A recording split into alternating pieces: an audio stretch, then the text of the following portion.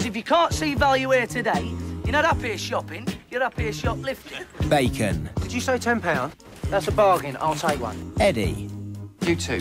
join me in my office. Fat Man. Oi! Soap.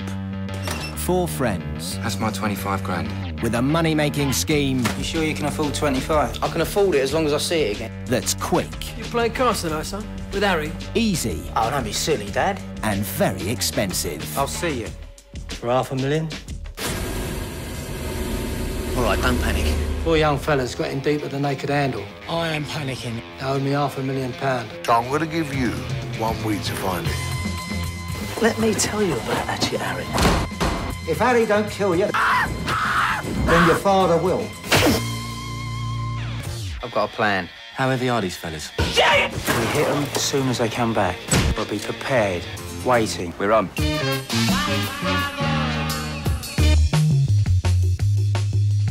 Right, where was we? Guns for show. Nice for a pro. Look, God knows how much of this stinking weight. Is this a declaration of war? A shitload of cash No one's responsible for this. Tortured. And a traffic warden.